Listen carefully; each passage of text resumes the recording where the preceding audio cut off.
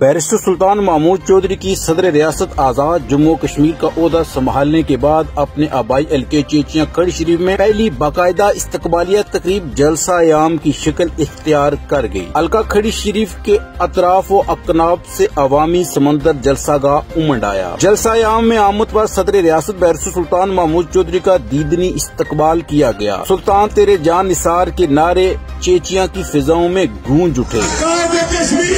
सत्रह हज़ार कश्मीर साढी छह सौ करोड़ इस्तकबालिया इंतज़ाम के हवाले से चौधरी सोएब अरशद, चौधरी शराज अक्रम, वकास जनेद मुतहरक रहे। जलसा आम से सदर रियासत बैरसू सुल्तान महमूद, चौधरी चौधरी अरशद हुसैन, चौधरी मकबूल गुजर, चौधरी यासर सुल्तान सबिया सदीक और दीगर ने भी खिताब किया। सदर रियासत बैरसू सुल्तान महमूद चौधरी ने अपने खिताब में कहा की मैं मोदी को अपना हरीफ समझता हूँ। मैंने ऐलान किया था कि मोदी जहाँ भी जाएगा, मैं उसका पीछा करूँगा। मैं इससे कबल मोदी के खिलाफ सिर्फ़ बैन अवी सतह आरोप मुजाहरे करता था। अब मैं सदर रियासत हूँ इसलिए मोदी बैन अवी सतह पर जिस फोरम पर जाएगा, मैं उसका वहाँ जाकर पीछा करूँगा। आज़ाद कश्मीर में पार्लिमानी निज़ाम है। पार्लिमानी निज़ाम में आवाम ताकत का सरचश्मा होते हैं। कारकुन पार्टी का असासा जबकि मम्बरान असम्बली पार्लिमानी निज़ाम की रूह होते हैं। मम्बरान पार्लियामेंट मौजूद थे।